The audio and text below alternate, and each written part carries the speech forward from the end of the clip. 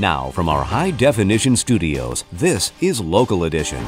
Hello, and thanks for watching this Local Edition. I'm Eric Watilla. Eurasian water.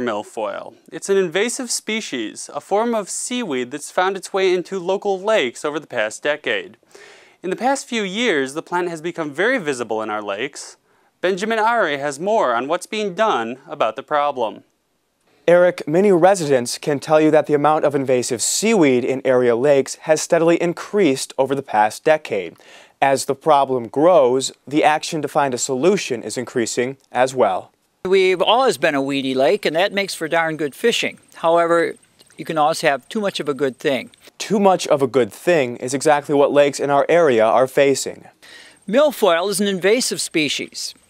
It came from somewhere else. And what happens when an invasive species comes into a situation, it dominates. And so Lake Cadillac, Lake Mitchell, and four, more than 400 other lakes in Michigan and throughout much of the United States, they're battling with milfoil. Milfoil is one of the main causes of the invasive change in these lakes. Well, it's a plant that will come in and uh, take over an area, move out the native species, and expand into areas where there weren't weeds before. Many of the old timers will tell you about a lot more sandy bottom here and gravel bottom that's now covered with weeds. And milfoil is one of the big problems. That problem directly affects boaters and swimmers. Yeah, what happens is it forms uh, rather dense stands, makes it difficult, that's, that uh, go to the surface, uh, makes it difficult for boat props and essentially for swimming and for other recreational use of the lake.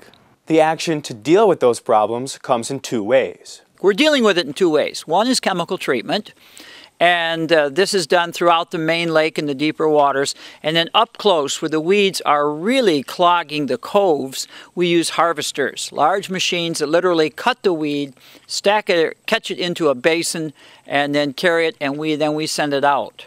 And that plan is slowly working.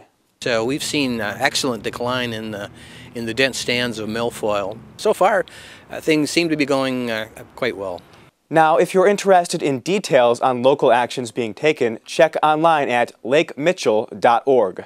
I'm Benjamin Are for Local Edition. Now back to you, Eric. Well, thanks, Benjamin. Coming up next on Local Edition, renovations to a post office in our area are once again underway, even after facing some delays. More details are coming up next. Stay with us.